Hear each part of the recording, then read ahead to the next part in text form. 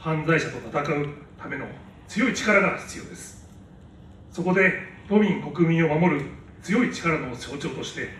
日本だけでなく世界で活躍されビッグボスとして親しまれている日本ハムファイターズ監督の新庄剛志様にストップ詐欺広報大使への就任をお願いしたところです。